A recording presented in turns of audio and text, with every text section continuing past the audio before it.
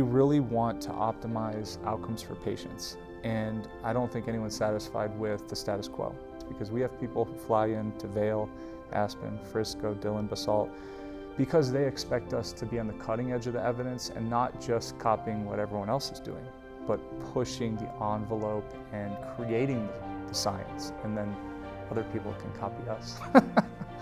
so during the summit, I'll be talking about the regulatory landscape in regenerative medicine, um, which is really critical for us uh, as clinicians to understand.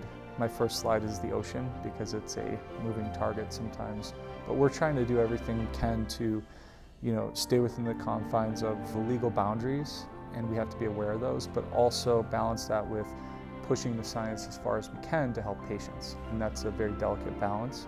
What excites me the most about the summit is the groundbreaking basic science research that's being translated into clinical application.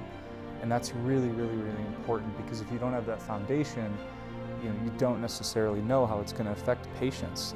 My colleagues, uh, I look around and I'm inspired to be around them every single day. Uh, we all push each other to be better. Uh, everyone cares so deeply about the patients, and that seems to be the driving force. I'm conscious of that. I'm conscious that I'm around Hall of Famers every day,